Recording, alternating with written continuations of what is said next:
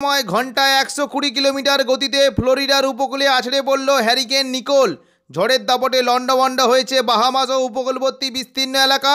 ইতিমধ্যেই নিকোলের ফলে ফ্লোরিডার বেশ কিছু শহর জলমগ্ন হয়ে পড়েছে।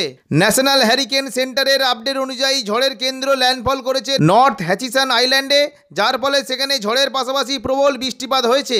হ্যারিকেন নিকোলের ফলে ফ্লোরিডার কলেজ ও বিশ্ববিদ্যালয় বন্ধ করে দেওয়ার পাশাপাশি সমস্ত বিমান পরিষেবাও বন্ধ করে দেওয়া হয়েছে।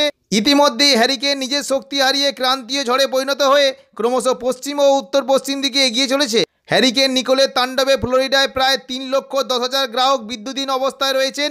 ইতিমধ্যেই আপদকালীন পরিস্থিতিতে বিদ্যুৎ পরিষেবা দিতে ষোলো হাজার কর্মীকে নিয়োগ করা হয়েছে। এছাড়াও আগামী পাঁচ দিনে পশ্চিমবঙ্গের কোন কোন জেলায় ঝড় বৃষ্টির সম্ভাবনা রয়েছে, সবই বিস্তারিত আলোচনা করব এই খবরে। খবরটি শেষ অবধি অবশ্যই দেখবেন। হাওয়া জানিয়েছে, এই মুহূর্তে দক্ষিণ পশ্চিম বঙ্গোপসাগরে অবস্থান করেছে একটি ঘূর্ণাবর্ত, যার ফলে বজ্র বিদ্যুৎ সহ ভারী থেকে অতি ভারী বৃষ্টিপাত হতে পারে তামিলনাড়ু, পুদুচেরি কারাইকাল কেরল এবং মাহেতে।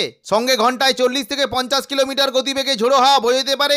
আবহাওয়া দপ্তর জানিয়েছে, এই মুহূর্তে বঙ্গোপসাগরে কোনো সিস্টেম না থাকলেও আগামী সতেরোই নভেম্বর একটি ঘূর্ণাবর্ত তৈরি হওয়ার সম্ভাবনা রয়েছে, যা পরবর্তীকালে শক্তি বাড়িয়ে নিম্নচাপে পরিণত হয়ে ক্রমশ উত্তর পশ্চিম দিকে অগ্রসর হয়ে উপকূলে আছড়ে পড়ার সম্ভাবনা রয়েছে। সিত্রাঙের পর ভারতে আছড়ে পড়বে যেই ঘূর্ণিঝড়, তার নাম হলো ম্যান্ডেউস বিধ্বংসী এই ঘূর্ণিঝড় তাণ্ডবলীলা দেখাতে পারে, যার ফলে লণ্ডভণ্ড হতে পারে উপকূলবর্তী বিস্তীর্ণ এলাকা। হাওয়া অফিসের পূর্বাভাস অনুযায়ী আজ কলকাতা ও পার্শ্ববর্তী জেলাগুলিতে শীতের আমেজ থাকলেও ডিসেম্বরের দ্বিতীয় সপ্তাহ থেকে জাঁকিয়ে ঠান্ডা পড়ার সম্ভাবনা রয়েছে। আপাতত দক্ষিণবঙ্গের পনেরোটি জেলাতেই বৃষ্টি কোনো সম্ভাবনা না থাকলেও উপকূলবর্তী এলাকায় সন্ধ্যের দিকে ঘন্টায় তিরিশ থেকে চল্লিশ কিলোমিটার গতিবেগে ঝোড়ো হাওয়া বয়ে যেতে পারে।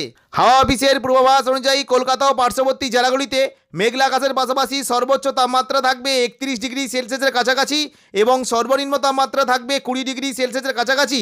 বাতাসে সর্বোচ্চ আর্দ্রতার পরিমাণ থাকবে তিরানব্বই শতাংশের আশেপাশে। এখনকার মতো খবর এখানেই। পরবর্তী আপডেট পাওয়ার জন্য চ্যানেলটিকে অবশ্যই সাবস্ক্রাইব করে পাশে থাকা নোটিফিকেশন বেলটি অবশ্যই ক্লিক করে রাখবেন।